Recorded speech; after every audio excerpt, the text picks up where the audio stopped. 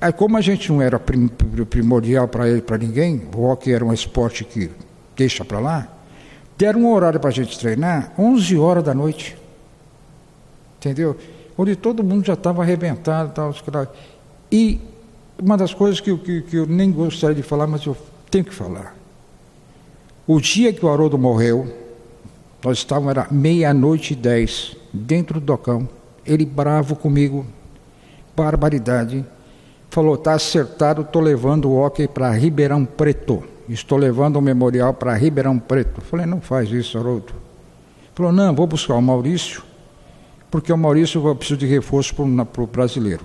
O Maurício tinha ido embora porque não tínhamos conseguido colocação para o Maurício aqui para trabalhar essas coisas todas.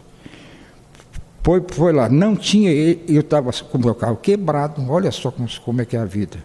O Haroldo estava com um carro emprestado no primo dele, e ele falou, ó, me arruma dinheiro que eu tenho que buscar o Maurício. Falei, Haroldo, meia-noite e meia, onde eu vou ter dinheiro? O Curruíra, que você conhece, que também ajudou muito o Hockey Memorial, falou, eu tenho dinheiro de uma rifa aqui no bolso. Falei, ó, Joãozinho, chamava de Joãozinho Curruíra, você me faz um favor, é Haroldo Brau. Me, me dá esse dinheiro para o Haroldo. Você tem quanto aí? Tinha uma quantia considerável. Amanhã abri o banco, eu te dou o dinheiro. Ele pegou o dinheiro, pôs no bolso do Haroldo, chegou e falou, ó, acabou. Estamos fora de sertãozinho. E foi. Aí, no, no, nesse mesmo dia, à tarde, nós tínhamos uma apresentação do Campeonato Brasileiro na Coca-Cola. E eu estava na Coca-Cola, com, conversando com o pessoal, alta cúpula da Coca-Cola tal, que ela prometeu e nos deu os uniformes todos para disputar o brasileiro e tal, aquelas coisas todas. Eu estava dentro da Coca-Cola, de repente a Zélia, que também a gente deve muito para ela, a Zélia, deve muito para o Ronaldo Kinak, também o hockey, chegou e o Datena estava brincando comigo. Falou, olha, vem aqui, vamos entrevistar o presidente do Sertãozinho Hockey Clube no patrocínio da Antártica. Eu me assustei, dei da Coca-Cola, eu falei, meu Deus, é o Guaraná Antártica, não sei o quê. Eu falei, meu Deus, o que, que é isso? Aí eu estava dando risada com o Datena. A Zélia entrou correndo e falou, Gesso, corre que a coisa é feia. Eu falei, o que, que houve, Zélia?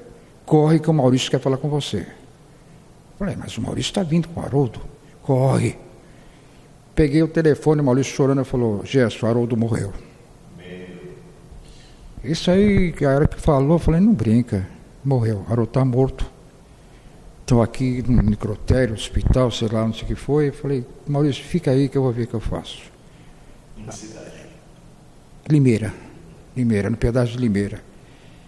Aí eu peguei e falei, meu Deus, veio o pessoal da Coca-Cola que, que o que, que houve, Gerson? Falei, olha, faz, tudo faz crer que o Haroldo morreu.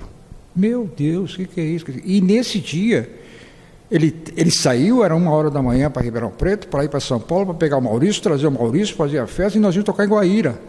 Olha a loucura que era a gente fazia. Aí foi, chamei o Vitor, estava lá, falei, Vitor, chama o Teco que eu quero falar com o Teco em particular.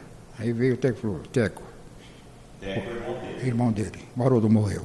Nossa Senhora, foi uma coisa.